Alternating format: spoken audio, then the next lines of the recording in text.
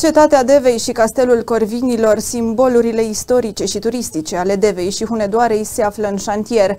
Însă, în timp ce monumentul din Hunedoara continuă să atragă turiști și venituri importante, oaspeții fortăreței din Deva au mai puține motive de satisfacție.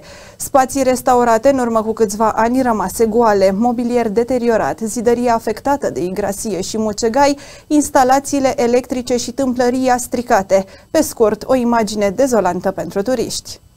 În luna ianuarie a acestui an, Castelul Corvinilor, în plin șantier, a primit peste 8.000 de vizitatori care au contribuit cu venituri la bugetul local al Hunedoarei. La polul opus, cetatea Devei, tot în șantier, este pustie și neîngrijită, oferind potențialilor turiști o priveliște dezolantă, în contrast cu spectaculoasa panorama Devei, Voii Mureșului și a munților Poiana Ruscă, ce poate fi văzută printre zidurile ei.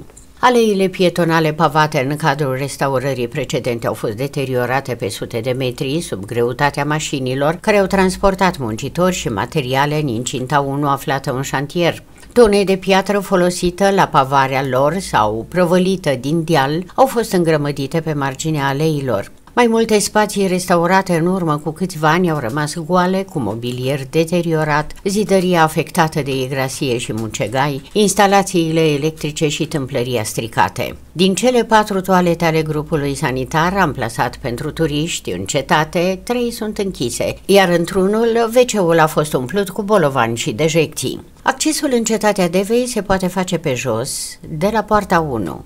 Telecabina se află și în șantier de anul trecut pentru a fi modernizată.